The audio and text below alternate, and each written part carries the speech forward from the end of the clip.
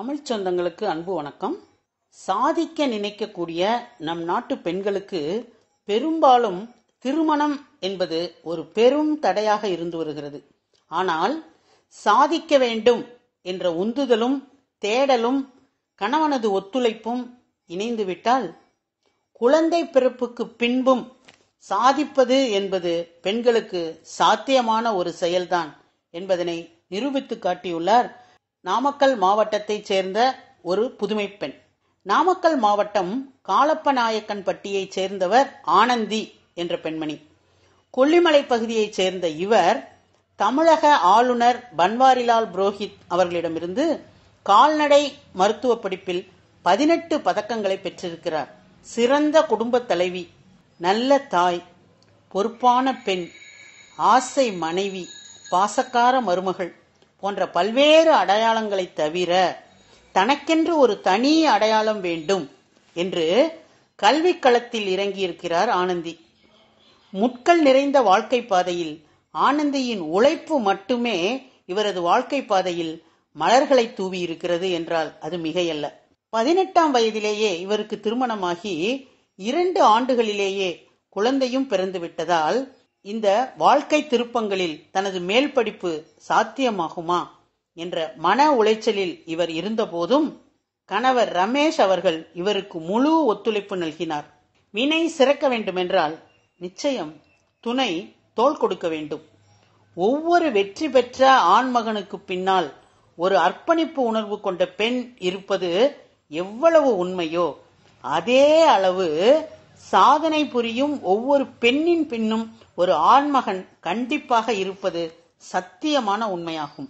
அந்த ஆண்மகனின் ஆதரவோடு திருமணம் செய்து கொண்ட பிறகு குழந்தை பேற்றினையும் பெற்று மருத்துவக் கல்வி பயின்று பதினெட்டு பதக்கங்களை பெற்றுள்ள ஆனந்தியின் அசாத்திய வெற்றியை அறிந்து கொள்வதற்காக ஆர்வமுடன் உங்களை அழைக்கிறது மௌனத்தின் சப்தங்கள்.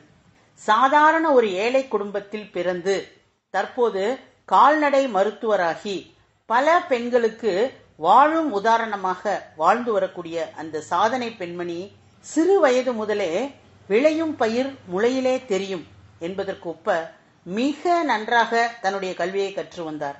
ஆனால் அவரது தந்தை குணசேகரன் லாரி ஓட்டுபவர் என்பதனால் மாதத்திற்கு ரூபாய் ஐயாயிரம் மட்டுமே வருமானமாக இருந்து வந்த நிலையில் இவரால் டியூஷன் செல்வதற்கு கூட வசதி இல்லாத ஒரு சூழ்நிலை நிலவி வந்தது.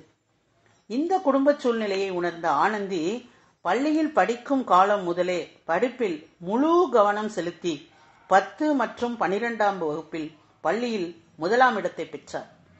தான் நன்றாக படித்து மற்றவர்களுக்கு உதவ வேண்டும் என்பதே இவரது லட்சியமாக இருந்து வந்தது. இவருடைய தந்தையின் வருமானமானது வீட்டு செலவுகளுக்கு பற்றாத நிலையில் இவரது வீட்டில் ஆடு மாடு மற்றும் கோழிகளை வளர்த்து வந்தார்கள். அவைகள் பல சமயங்களில் நோய்வாய்ப்படும் போது சிறந்த ஒரு கால்நடை மருத்துவரை இவரால் அணுக முடியவில்லை.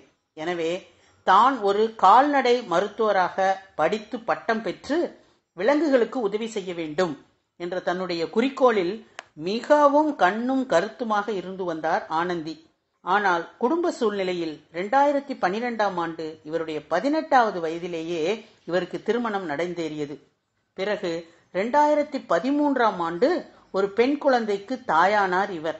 எனினும் தன் கனவினை நோக்கி ஓடுவதில் ஒருபோதும் இவர் ஓய்வெடுத்துக் கொள்ளவே இல்லை.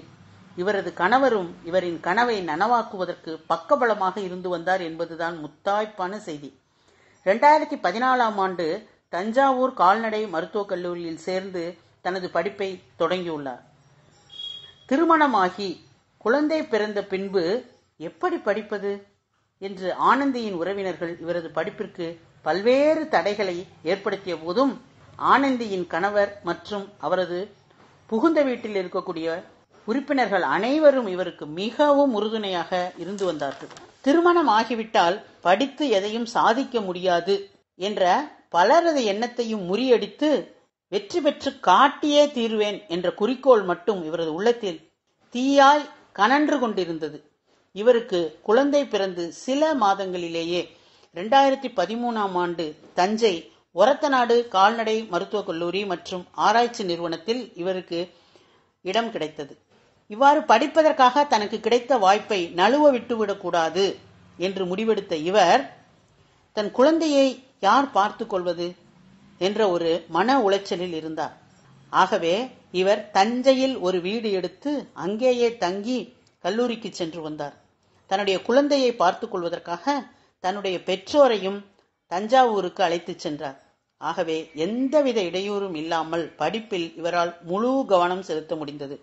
இவருடைய ஈடுபாட்டை கண்ணுற்ற கல்லூரி பேராசிரியர்களும் முதல்வரும் இவருக்கு பக்கபலமாக இருந்து வந்தார்கள். இவரது கடின உழைப்பிற்கும் விடாமுயற்சிக்கும் மகுடம் சூட்டும் விதமாக கால்நடை பல்கலைக்கழக தேர்வுகளில் அனைத்து பாடங்களிலும் முதல் மதிப்பெண் பெற்றார் என்பது ஒரு சிறப்பான செய்தியாகும்.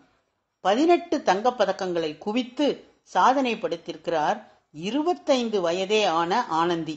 இந்த சாதனைக்கு முன்னாள் முதல்வர் டாக்டர் ஜெயலலிதா அவர்கள் பெயரில் வழங்கப்படக்கூடிய சிறந்த மாணவிக்கான விருது. ரூபாய் பத்தாயிரம் ரொக்கப்பரிசும் தமிழக ஆளுநரால் ஆனந்திக்கு வழங்கப்பட்டது. இவர் தற்போது ஆவின் கூட்டுறவு ஒன்றியத்தில் கால்நடை மருத்துவ ஆலோசகராக ஒப்பந்த அடிப்படையில் பணிபுரிந்து வருகிறார். அன்று கால்நடை வளர்த்து வந்த ஆனந்தி இன்று கால்நடை மருத்துவராகி காட்டியுள்ளார். ஆனந்தி என்ற இந்த புதுமை பெண் தமிழ்நாடு கால்நடை மருத்துவ அறிவியல் பல்கலைக்கழகத்தின் இருபத்தி ஒன்னாம் ஆண்டு பட்டமளிப்பு விழா சென்னை வேப்பேரியில் உள்ள கால்நடை மருத்துவக் கல்லூரியில் நடைபெற்ற போது தன்னுடைய பட்டத்தினை பெற்றார். ஆனந்தி தன்னுடைய பத்தாம் வகுப்பு பொதுத் தேர்வில் ஐநூறுக்கு நானூற்று எழுபத்தி நான்கு மதிப்பெண்களை பெற்றிருந்ததால் இரண்டு ஆண்டுகளுக்கு அவருக்கு கல்வி உதவித்தொகை கிடைத்தது. பன்னிரெண்டாம் வகுப்பிலும் ஆயிரத்தி இருநூறுக்கு ஆயிரத்தி நூற்று ஐம்பத்தி எட்டு மதிப்பெண்களை பெற்று அசத்தி இருக்கிறார் அந்த ஆனந்தி.